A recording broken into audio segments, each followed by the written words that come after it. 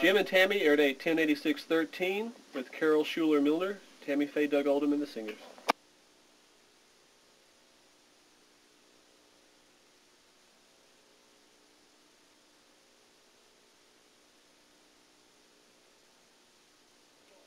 The PTL Television Network presents Jim and Tammy.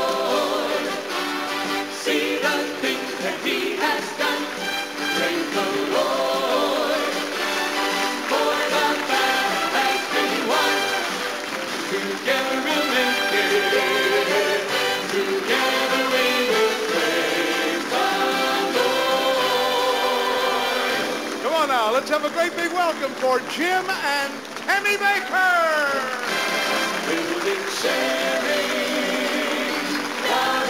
Hello. Hello, everybody. Welcome to Heritage USA. It's nice to have you here. My, what a wonderful audience. Ah, this audience would warm you up on a cold, chilly uh, October day. nice to have you here with us. You're all looking good. Thank you. You're welcome. we have with us a very, very special guest today, Carol Schuller, and uh, her new name, Milner. Uh, she's just been married not too long. How, how many months have you been married, Carol? Uh, six and a half. Six and a half. So you're still on a honeymoon, right? Yeah. So here at Heritage USA is the honeymoon capital of the Yeah, world. Now, the Christian honeymoon capital.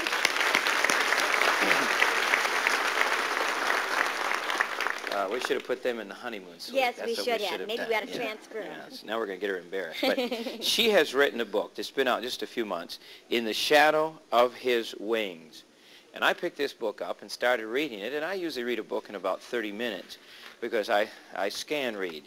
And, but this is one I didn't scan read. I couldn't stop reading the details because it is so well written and so unbelievable and how the daughter of one of the most positive ministers in the world, Robert Schuller, went through a tragedy and the loss of her leg in a terrible accident and then being in the hospital almost a year with infections, problems, and how she came back.